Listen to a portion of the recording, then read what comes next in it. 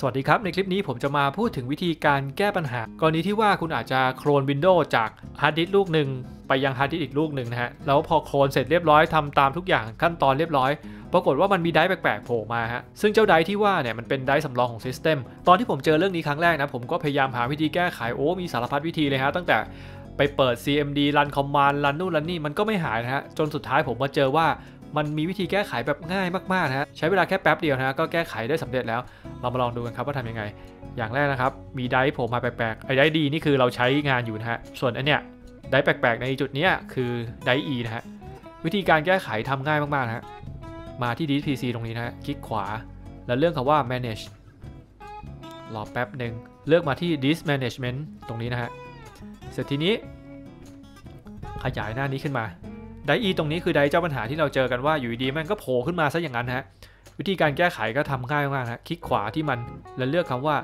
change letter and path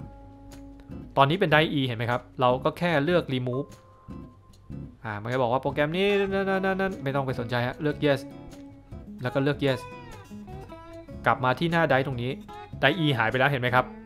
แต่เราไม่ได้ไป format ไม่ได้ไปยุ่งกับไฟล์ system ไฟล์ system ก็ยังคงอยู่เหมือนเดิม จริง ๆ ปกติมันจะมีตัวนี้โผล่มาด้วยนะ แต่ว่าผมลองลบไปแล้ว แค่นี้นะฮะไดร์ประหลาดประหลาดที่เราไม่จำเป็นต้องไปลบ เราก็สามารถทำให้มัน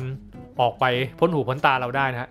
ก็หวังว่าคลิปนี้จะเป็นประโยชน์สำหรับผู้รับชมไม่มากก็น้อยนะครับ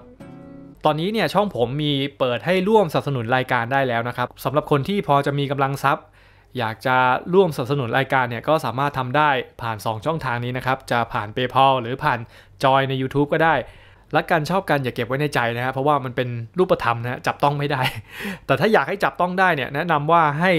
สนับสนุนผ่าน 2 ช่องทางนี้นะฮะผมก็จะจับต้องได้แล้วก็จะทำให้ผมเนี่ยมีแรงมีกำลังใจ ลุกขึ้นมาทำคลิปแบบนี้ต่อไปนะฮะก็หวังว่าผู้ชมจะร่วมสนับสนุน แล้วก็เข้าใจในสิ่งที่ผมกำลังทำนะครับ